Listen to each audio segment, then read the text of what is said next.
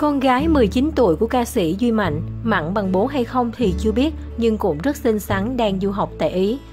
Nguyễn Thu Cầm là con gái đầu của nam ca sĩ Duy Mạnh, cô nàng sinh năm 2000 và hiện đang là du học sinh tại Ý. Nếu nhắc đến những ông bố là người nổi tiếng nhưng lại siêu mặn mò trên mạng xã hội mà quên mất nam ca sĩ Duy Mạnh thì chắc hẳn là thiếu sót vô cùng to lớn. Tuy không còn nhiều ca khúc hit như ngày xưa, nhưng hiện tại nam ca sĩ luôn gây sốt với những phát ngôn thẳng thắn hài hước, có đôi khi là hơi bổ bả trên Facebook của mình. Đặc biệt, những clip tương tác với cậu con trai nhỏ của Duy Mạnh cũng khiến các fan thích thú. Tuy nhiên, chắc hẳn nhiều người không biết rằng ngoài quý tử Mạnh Cầm, Duy Mạnh còn có một cô con gái lớn tên Thu Cầm. Trong một vài lần hiếm hoi xuất hiện, con gái Duy Mạnh đã gây ấn tượng với nhan sắc càng lớn càng xinh đẹp của mình.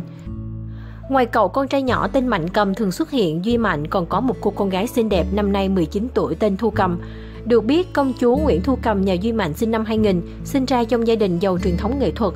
Thu Cầm cũng đã sớm bộc lộ khả năng của mình khi cả hát và đàn đều rất giỏi. Cô gái 19 tuổi này từng theo học hệ trung cấp khoa piano tại Nhạc viện thành phố.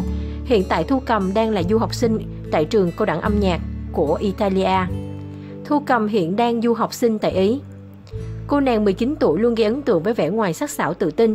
Tuy không xinh xắn theo kiểu hot girl, nhưng Thu Cầm lại ghi điểm nhan sắc sắc sảo đẹp lạ của mình.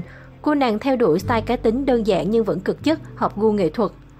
Đặc biệt, thần thái rạng rỡ tự tin của Thu Cầm khiến cô nàng luôn tỏa sáng dù ở bất kỳ đâu.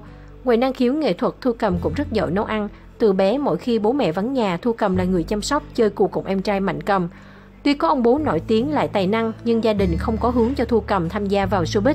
Và ước mơ của Thu Cầm sau khi hoàn thành chương trình học chính là trở thành một cô giáo piano.